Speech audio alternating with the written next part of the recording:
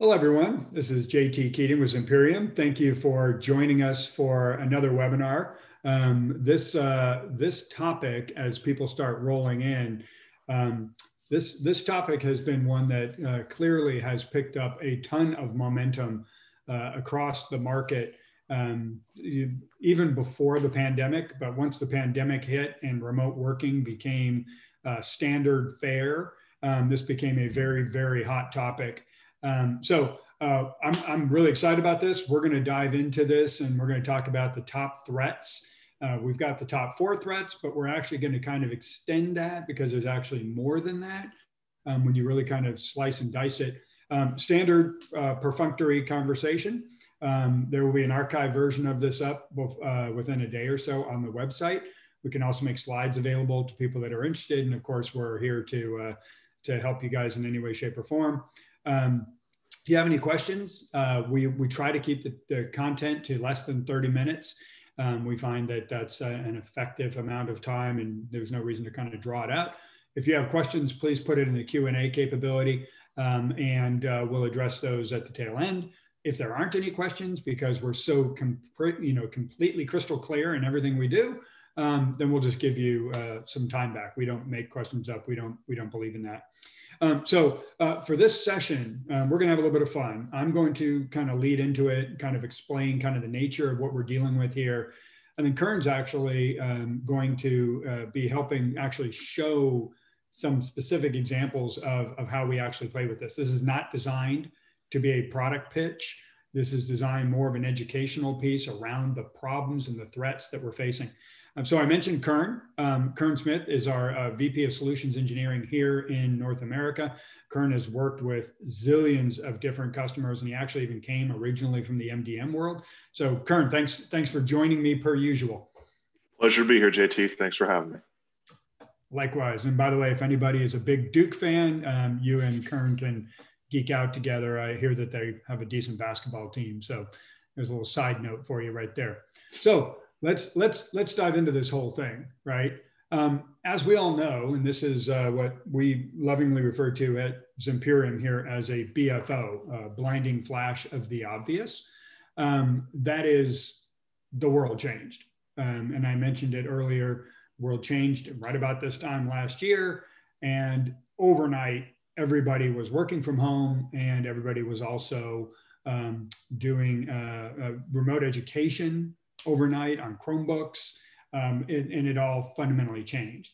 Now, when it comes to, to mobile devices and enabling mobile applications and enabling mobile initiatives, that's actually been going on for quite some time. So uh, I mentioned this is not a product pitch, but um, Zimperium is protecting literally tens of millions of endpoints around the world with major enterprises, major government institutions, and a large part of it has to do with these initiatives. So every one of these initiatives, this is not just a, you know, kind of a throw it out there, kind of, you know, hypothetical, act like I'm a big luminary kind of thing. This is real world stuff um, that we're protecting every day. And we think the key is that there's these, these digital transformation initiatives. It's not that somebody just got out of bed one day and said, hey, let's just, let's just do mobile for mobile what it is is we're doing things like remote working that happened overnight, um, but it was kind of percolating along even before there. BYOD, right? Especially as we dive into this this topic, the movement towards bring your own device and enabling that and having cost savings from a corporate standpoint, better user satisfaction from an employee standpoint, that was there. Zero trust is coming up corporations that are realizing that the, you know producing mobile apps is a major part of their initiative compliance mandates hipaa pci et cetera. These are just some examples of digital transformation initiatives which are which are really the key. That's that's that's at the high level of what's going on right?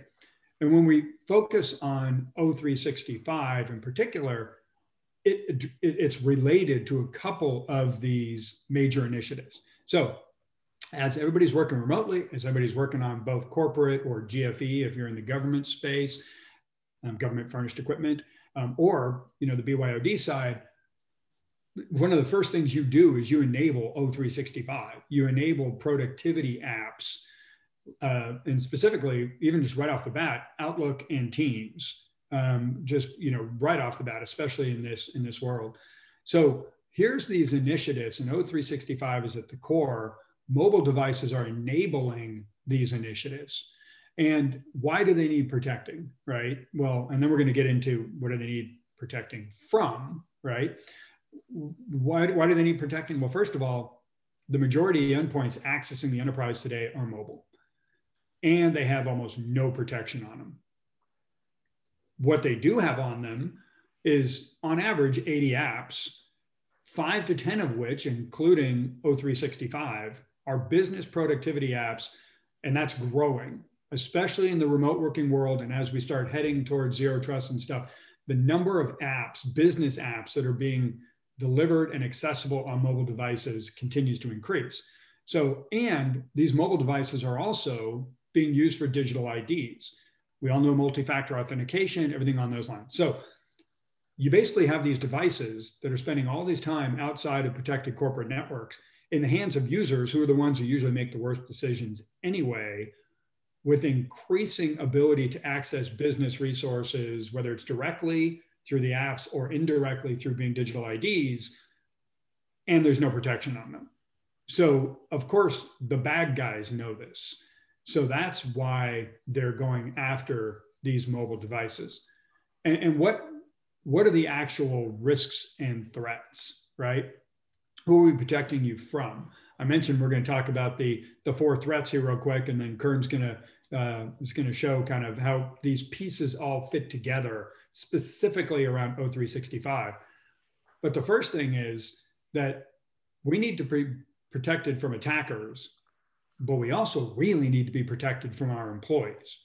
Um, you know, ask any security professional. I'm old. I've been doing this for quite some time, um, and carbon-based life form has always been the biggest risk to an organization. Human beings. Well, human beings are the admin. The employees are the admins of these devices that we're putting O365 on. There is no central patch management system. They decide what networks they're connecting to. They decide what apps they're installing. You know, they don't update the phone or they update the tablet because eh, it might slow it down. You know, don't want to mess up Candy Crush, um, so we're not going to update to the latest version of OS, right? So, so we have to protect. And then the apps they install. I mentioned there's 80 apps on average. A huge chunk of those apps have security and privacy risks. Uh, you know, this is not part of, of today's session, but um, it was announced in Wired Magazine last week. It's actually, we announced it on our blog. Another example of security and privacy risks in mobile apps themselves. And so we announced that we've literally found thousands of mobile apps, traditional secure, you know, uh, legitimate apps that have huge configuration issues that are leaving all of their data exposed in the cloud. We have a webinar on that on the 24th if anybody's interested in, in coming to that. But these are apps that the employees are installing onto these devices that we need to be protected from, right? So, and that's that's one of those. That's two bonus threats right there. Your employees and uh, and um, uh, sensitive or, or um, leaky apps, basically. Um, but then there's the attackers, right? And we need to protect against the attackers, uh, and particularly on on these approaches. So, what are the things we need to protect uh, uh, protection from? What are the attackers using? And um, Kern and I were actually on the phone earlier today with the the MITRE guys about the MITRE ATT&CK framework, and and these are which we're big fans of. These are some of the elements that fit into that that framework, right? One of the time tested laws is persistence. For as long as security or bad guys have been going after devices, they want to be persistent as long as humanly possible on mobile, the only way to really be consistently persistent is to, in some way, shape, or form, compromise the device or elevate privileges. So on mobile, if you're if you're an app, which I'll talk about here in a second, you're in a container. You can cause problems within your container, but you need to break out of the sandbox, break out of the container, and do something to elevate privileges above and beyond that container in order to, to really be persistent and to, to really weaponize a device. So the end game is a device exploit, compromise, something along those lines. But you don't usually start there. The other three threats to O365. And, and all of this fits into that exact framework, which Kern's going to start showing here in a second. The, the other three are, are have their own risks by themselves, but they're also conduits or pipelines in order to get to that ultimate goal of device persistence. The first one is malicious apps. Okay, we all know we've all heard about malicious apps. Um, and like the majority of the malicious apps we see are actually really focused on fraud, BankBot, BlackRock, that, that sort of stuff. But they can be a delivery mechanism to, to compromise the device. The next vector, which is huge, is phishing. And phishing, when it comes to the O365 part, there's there's the the uh, the fact that a, a, website, a malicious website, that a phishing website can deliver an exploit to take over a device is, is part of it. The other part of it, though, is we've seen significant number of phishing attacks where the O365 apps are the actual focus. Matter of fact, we did a, a phishing webinar that you can go back and, and check out at the end of January. Uh, and we talked about our phishing data from 2020. And we looked at it on a worldwide basis but then we also zeroed in regionally. And in North America, for instance, O365, Outlook, a couple of the other brands were in the middle. They were the most phished brands. So from an O365 risk standpoint, how do I protect against these? That is a that is a huge vector. And then the last like kind of major vector you need to worry about, especially as everybody's spending all their time outside of protected corporate networks, is the network itself. And one of the dumbest things about smart devices is they connect to the network and they introduce themselves, not the other way around. So it, your phone literally walks up to every network and goes, Hey, are you Starbucks? And all the network has to do is say, Well, yes, I am. So these are the main attack vectors and the main approaches that we're concerned about when it comes to O365. And we're going to start talking about, okay, we're understanding this. We're going to keep slicing and dicing into it, but now what do we do about it, right? But Kern, before before we pivot over to what do we do about it, um, any any additional thoughts, comments, or maybe even some experiences from some of our existing customers um, in terms of of these risks and O365? Yeah, no, I mean, it, to be candid, a, a lot of customers are especially in this day and age, uh, it's been a scramble to focus around enablement, right? Because as um, a lot of these workflows have moved to uh, the cloud and to Office 365, the type of data that is available to access uh, on the mobile device, it, there's really no difference between that and a traditional uh, PC, desktop, laptop from just a pure uh, bits and bytes standpoint.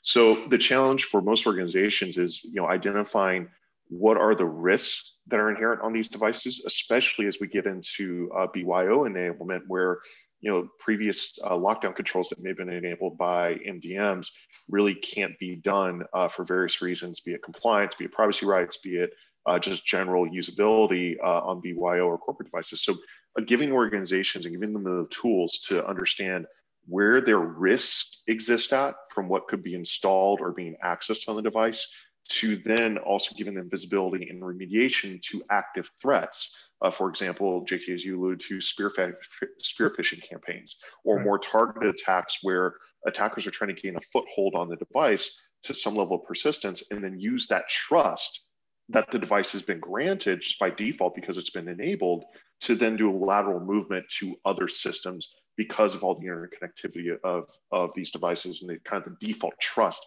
that's given to them, but just because the user was able to sign in, essentially.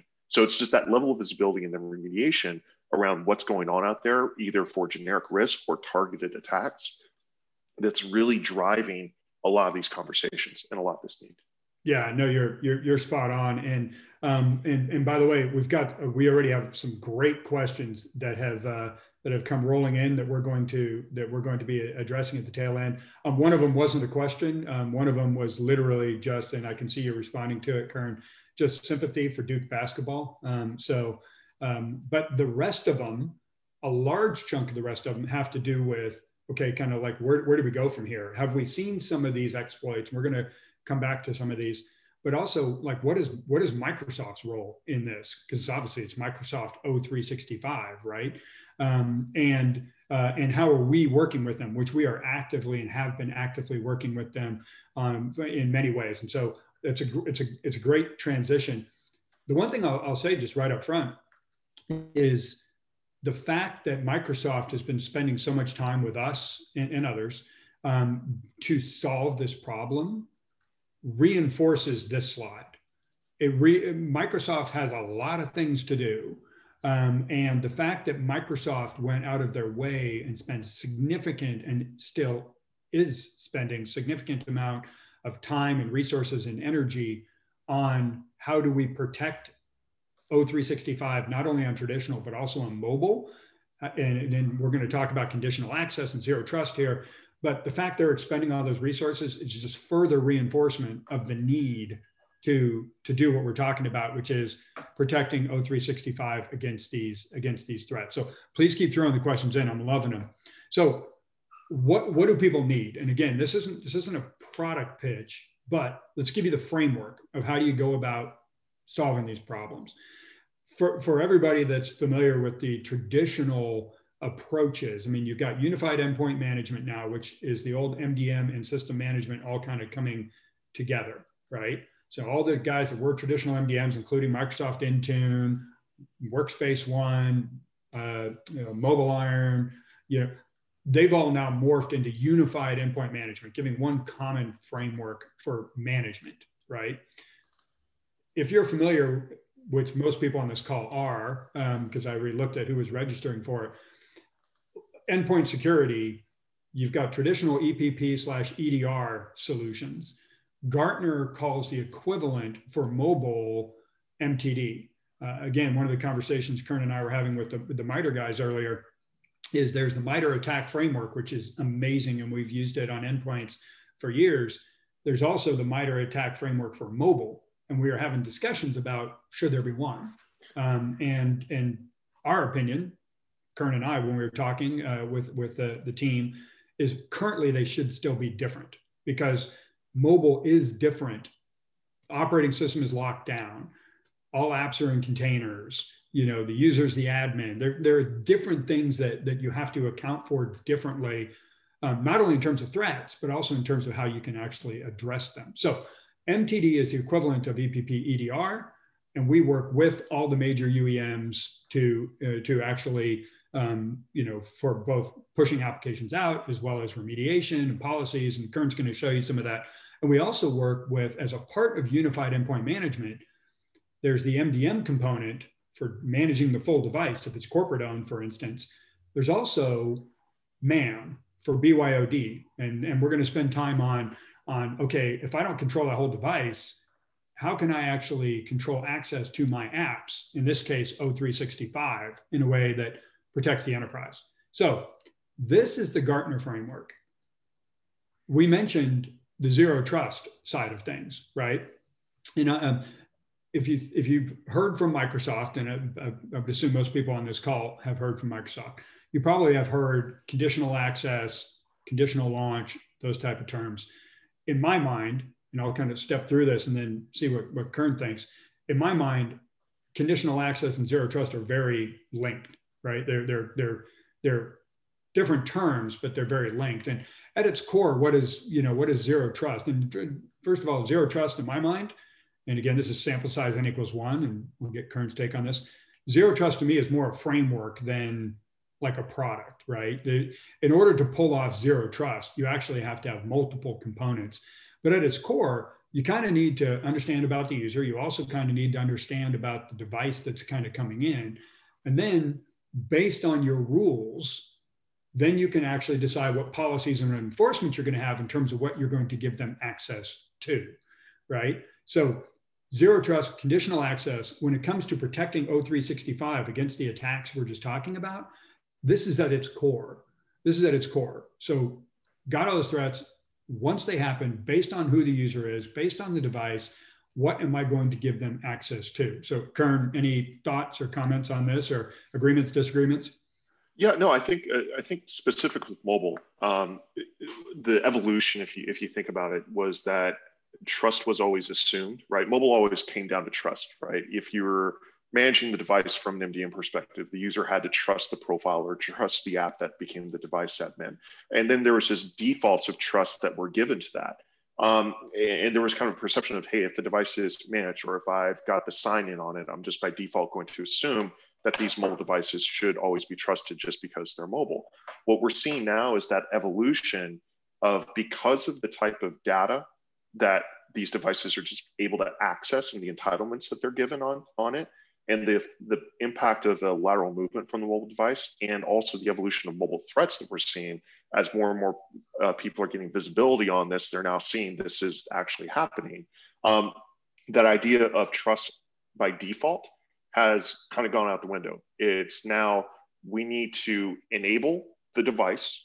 We also need to have another mechanism to say, look, are all the security settings, are all of the um, enablements that I'm trying that I'm tying to that device, should I still allow that to take place? It's basically a let's continue to verify if the state of the device or the state of configurations or things that are installed on the device or the state of the connection of the device, is that still good for me to continue to allow that device to operate or access these different areas. So it's going from a trust by default to now, look, we want to enable by default, but have some mechanism of validating should that device still be trusted or not. Uh, absolutely, absolutely. And so if we if we now shift and let's let's show them, Kern, what you were just talking about. I mentioned that this is not a product presentation, right? we are the enterprise leader in mobile threat defense. We've got all these huge advantages that come from the fact that we're the one who do all of our detection on device. So we that's fine. We can we can talk to you guys about that later. But but for this, to directly back to Kern's point, when it comes to the the, the device attestation component in zero trust and or conditional access, again, interchangeable kind of right now, right? So we can detect things we work with Microsoft on both the managed and the unmanaged side through Endpoint Manager slash Intune to be able to, to take some actions off of that. So, so Kern, um, would you like to take over showing and uh, yeah. you know, and kind of show folks what we're talking about here real quick? Absolutely, and, and you know because we're talking about uh, Office 365, what we wanted to kind of show was just look. Here's simple steps that can be done to basically start getting you visibility and adopting you know that, that aspect of hey should i continue to trust this device as it's being enabled either from an mdm or mam perspective to access the corporate data et cetera? So really what we start off with is integration with uh, microsoft endpoint management service. And at this point it's very straightforward. You just click and follow right here. Um, and by the way can everybody see my screen right now? Just want to make sure that we're seeing the right one Yes, we, we can see okay, it. perfect. And this is this perfect. is perfect because you know one of one of the questions a lot of people are asking is, okay, so you know how how quickly could I be up and going and protecting mobile devices? Exactly. Right. You know. Well, and, and that's kind of the biggest uh, question about is hey what's the implementation time what what's the impact here to get this rolled out well what i'm demonstrating right now is look doesn't matter how you're managing the device, be it MDM or MAM only, or if you're using both MDM or MAM controls, or even if you're enabling Office 365 with a third party MDM, being able to adapt to those personas is kind of critical on all of this. So what we can do is very quickly um, set up the integration, get the consoles talking at this point, and then you can specify what groups you want to enable or what groups you want to protect be it executive groups, BYOD, or just in general, all of these areas. So you click finish and you're done. But the next component is, hey, how do I enforce or roll this out across the board? And part of that is our integration and the great partnership that we've had with Microsoft in creating different things around conditional launch, conditional access controls, but also app protection policies. And because we're talking about Office 365 and the enablement, one of the things is, hey, look, we need to make sure that we can trust the device before the user is able to access things like Outlook or Teams. And that can be very easily implemented with an app protection policy to say, look, for iOS, Android, et cetera, it doesn't really matter.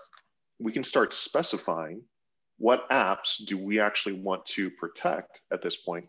What is the management of the device, et cetera, and then go from there. So if I want to say uh, protect Outlook as an example and use this as a mechanism to, to say, what is it that I want to protect? What is it that I want to enforce? Those type of things. We can go ahead, select Outlook, hit next. Go ahead and set whatever your DLP policies that are specific to Outlook around copy, paste, etc. uh, your pin code access requirements. These are all Microsoft specific settings, mm-hmm. and then start assigning conditional launch policies around what is the max allowed threat level of the device. So say, for example, I want to say, I'm not going to allow any devices with a that are higher than medium to have access. If the device is on a medium, uh, uh it's basically a critical level event that's taking place on the device, we can block access to Outlook Teams or any of the Office 365, uh, any of the Office 365 stack or and also use MDM controls if the device is on an MDM perspective. We go ahead and click next and basically publish that out. Now, what that looks like from an enroll from a deployment standpoint is it's a very simple deployment at this at this point. The user is when they try to access Outlook, um, they'll go ahead and open it up, and what they see is uh, the account get their account gets set up, the organization app policies get applied, and then when they try to access Outlook after that policy's been pushed, they're now told, hey, you need to have zIPS onto your device because of that integration in the policy. The user installs zIPS onto the device. They then go ahead and can either use Microsoft authentication, or if they uh, bypass that, they go back to Outlook. Outlook says, great, you have zIPS on the device, but Zimperium needs to give us needs to give us a status mm-hmm. of is the device safe or not. So this takes care of the zIPS authentication component, at which point zIPS gets uh, set up, it gets activated with the appropriate um, items. Policies get pushed down for do we want to collect, uh, what do we want to push down? zIPS then ascertains if the device is safe or not based off of the policies that have been set by the admin. Uh, Outlook is able to recheck the status. Now the user is enabled to securely access Outlook at this point. Deployment's done take take took less, I think, than it took less than five minutes, I think, to get that set up at that point. Now, from a remediation standpoint, and what happens if a threat occurs? Well, this is all part of the automated uh, threat flow. So again, based off the threat policy, we can say if the device is on a critical threat or something along those lines, we want to block access. In this case, the device is in a normal threat environment, nothing bad is happening.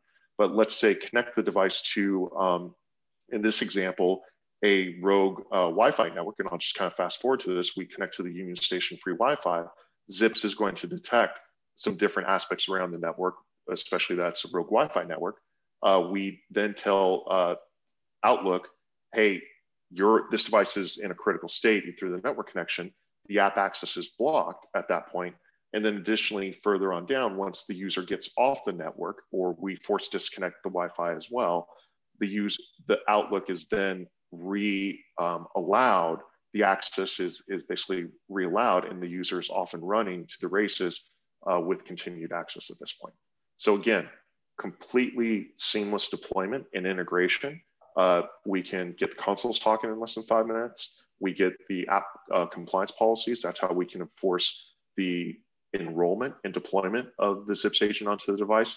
And then with the integration for conditional launch, conditional access, and some of the app control policies, regardless if you're doing MDM management or MAM management, or if you're using all of the Microsoft EMM stack, or if you're using third-party EMM plus Office 365, we can account for all those different workflows with group-based policies and things of that nature to, to seamlessly be able to say, can this device be trusted or not at that point?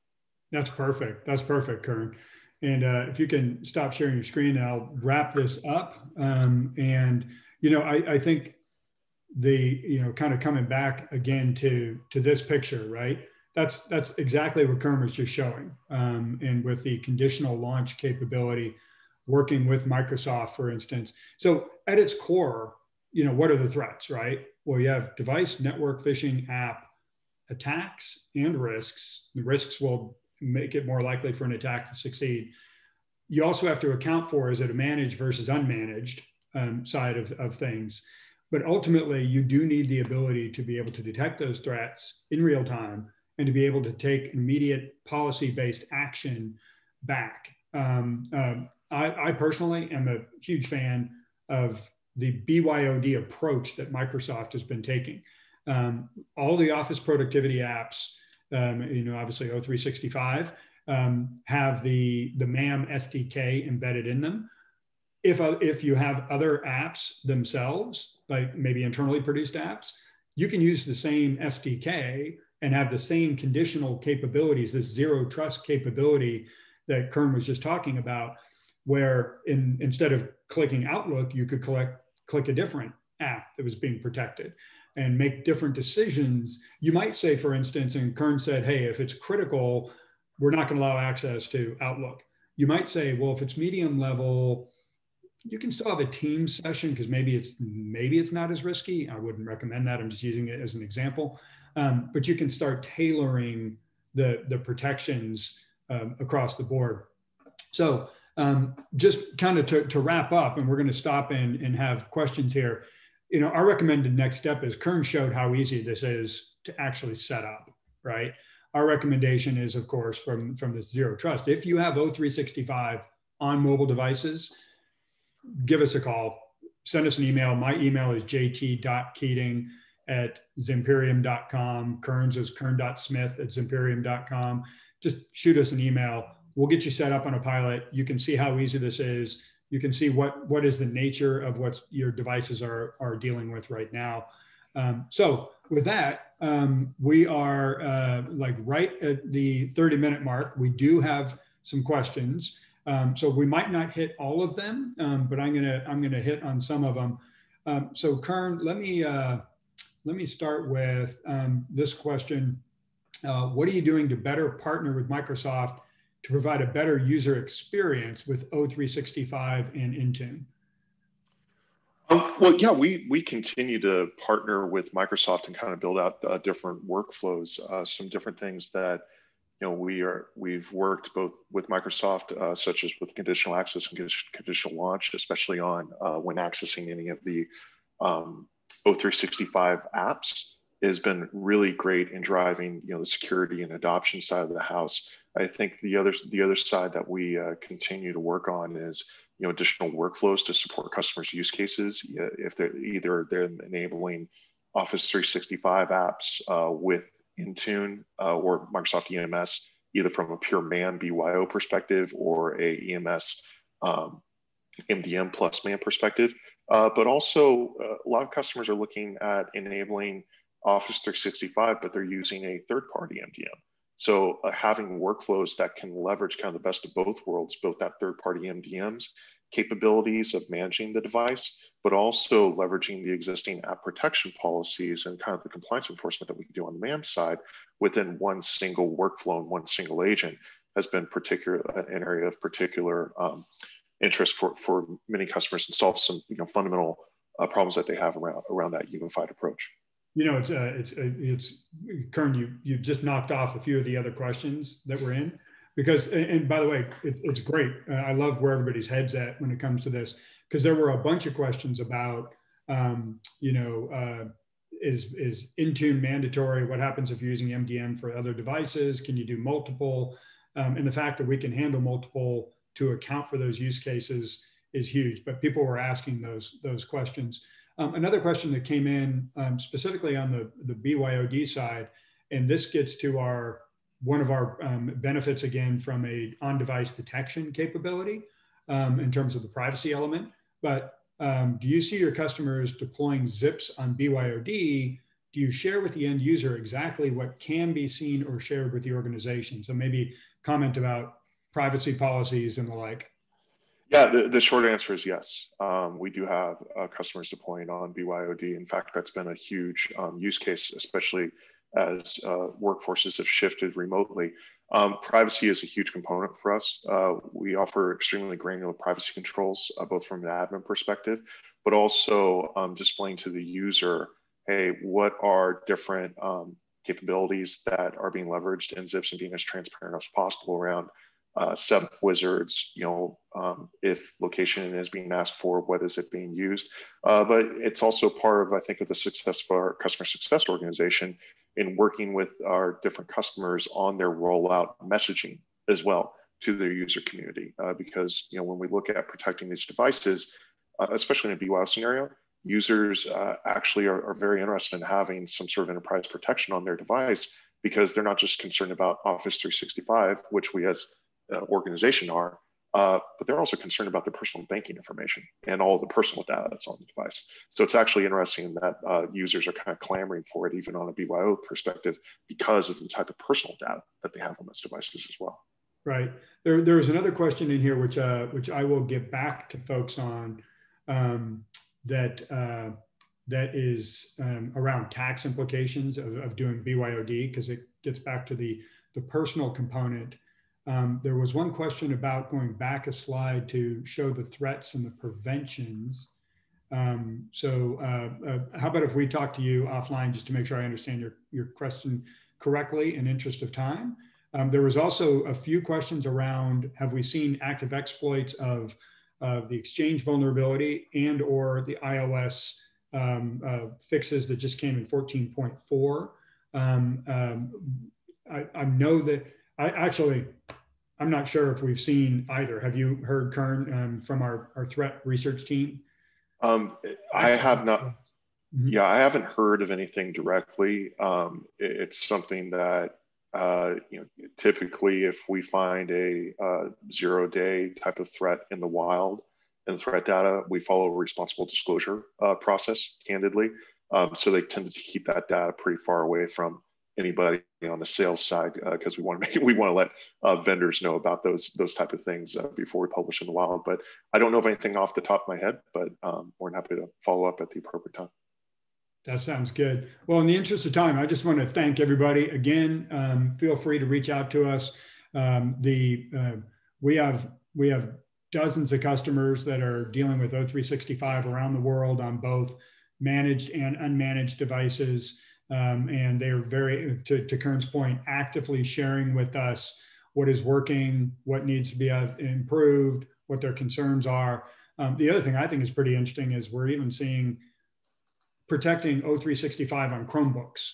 Um, so a large part being driven by teams being used for remote education. So it's just, it's a very, very hot topic. Um, and we're here to help anybody with perspectives on it. So thank everybody for your time. Kern, thank you very much as usual. And everybody have a great day. Always a pleasure. Take care.